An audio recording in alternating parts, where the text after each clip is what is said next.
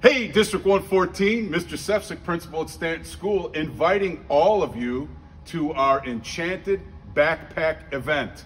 Starts Thursday, 7 a.m., goes till 1, Friday, 7 a.m. till 1, and Saturday from 8 to noon. Want to show you real quick what we have available for all of you for free. School supplies. Come on with me.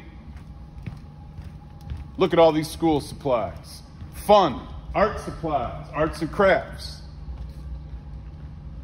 Now we're gonna go left and right here. We've got a ton of winter gear, brand new hats, gloves, jackets, brand new sports equipment, recess type of equipment. Look at the books that we have available for your students to read.